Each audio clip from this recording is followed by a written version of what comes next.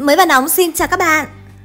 Thưa các bạn, chưa bao giờ mà hàng loạt báo chính thống lớn tại Việt Nam lại cùng đăng một thông tin mà lại chỉ có một ảnh giống nhau và một tiết giống hệt nhau như thế này. Vâng, đó là thông tin bắt Chủ tịch Tập đoàn Vạn Thịnh Phát Trương Mỹ Lan được 10 báo giống nhau cả 10 đăng nguyên văn như sau. Nữ doanh nhân Trương Mỹ Lan, Chủ tịch Tập đoàn Vạn Thịnh Phát bị Cơ quan Cảnh sát điều tra Bộ Công an khởi tố bắt tạm giam để điều tra về tội lừa đảo chiếm đoạt tài sản.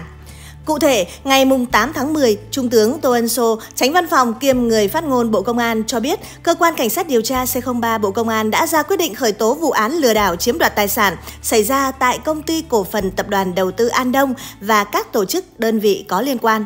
Đồng thời, C03 đã ra quyết định khởi tố bị can, thực hiện lệnh bắt tạm giam bà Trương Mỹ Lan. Bà Lan là người sáng lập và hiện đang giữ chức Chủ tịch Hội đồng Quản trị Công ty Cổ phần Tập đoàn Vạn Thịnh Phát. Bà Lan bị điều tra về tội lừa đảo chiếm đoạt tài sản. Cơ quan điều tra cũng khởi tố, bắt tạm giam các bị can Trương Huệ Vân, Tổng Giám đốc Công ty Cổ phần Tập đoàn Quản lý Bất động sản Windsor,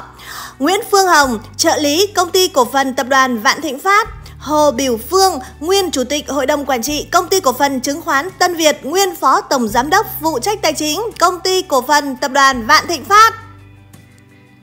Kết quả điều tra ban đầu xác định các bị can đã có hành vi gian dối trong việc phát hành mua bán trái phiếu trái quy định của pháp luật để chiếm đoạt hàng ngàn tỷ đồng của người dân trong thời gian từ năm 2018 đến năm 2019. Viện Kiểm sát Nhân dân tối cao đã phê chuẩn các quyết định và lệnh tố tụng nêu trên. Cơ quan điều tra cũng thực hiện khám xét nơi ở, nơi làm việc của Chủ tịch Tập đoàn Vạn Thịnh Phát.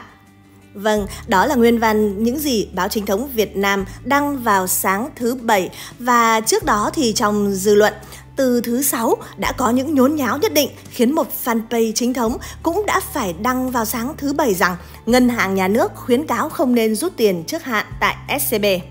Đó là các mặt báo trong nước. Còn quốc tế thì sao? Trang BBC vào tối 7 tháng 10 năm 2022 đã đăng bài phản ánh có nhan đề Tìm kiếm trên mạng về vạn thịnh phát cao bất thường. Trong đó, bài báo nêu rõ tần suất xuất hiện của các từ khóa liên quan công ty cổ phần tập đoàn Vạn Thịnh Phát đột ngột lên cao, đứng đầu tại Việt Nam trong ngày 7 tháng 10. Google xu hướng công cụ khảo sát các tần suất xuất hiện của các từ khóa, các chủ đề và cụm từ cho thấy các chủ đề đang đứng đầu tính tới chiều mùng 7 tháng 10 giờ Việt Nam liên quan tập đoàn Vạn Thịnh Phát. Cụ thể, từ khóa đầu tiên liên quan Chủ tịch chứng khoán Tân Việt thành viên Hội đồng Quản trị độc lập SCB Nguyễn Tiến Thành đã qua đời đột ngột hưởng dương 50 tuổi.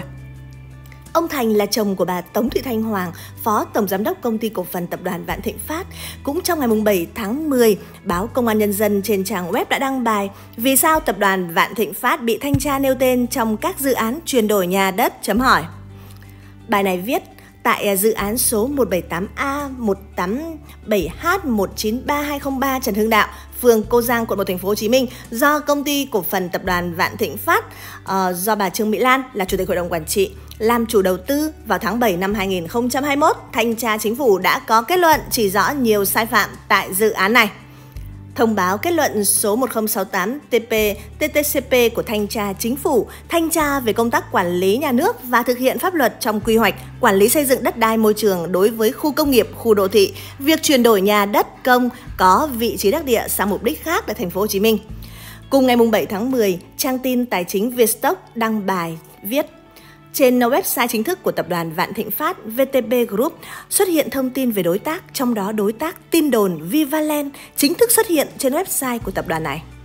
Theo à, bài đăng này thì à, Vivaland từng được giới bất động sản nhắc đến là doanh nghiệp có mối liên hệ với Vạn Thịnh Phát. À, chỉ mới thành lập khoảng hơn 2 năm gần đây, nhưng Vivaland lại nắm vai trò quản lý nhiều dự án tại những vị trí đắc địa ở Hà Nội và thành phố Hồ Chí Minh. Vâng, thưa các bạn, Trương Mỹ Lan là một nhân vật là một người từng bị Nguyễn Thị Thanh Tuyền nổ rất ganh ghét nên từng chửi bóng chửi gió bà này trên livestream nhưng lại không dám chửi hẳn ra vì thế lực bà ta quá mạnh. Tuyền nổ chỉ là con ca ve cầu bông không được sách dép cho gia tộc khủng, được coi là giàu bậc nhất Việt Nam này, chứ tuổi gì mà dám chửi bà trên live. Thế nhưng trước thông tin này, Tuyền nổ trong T30 chắc cũng mừng lắm đây vì ít ra cũng đã thỏa mãn sự ghen ăn tức ở của nó. Hot Team sẽ tiếp tục cập nhật các thông tin quanh vụ việc này và nhiều vụ việc thời sự khác trong xã hội tới các bạn nhé. Hẹn gặp lại và xin chào!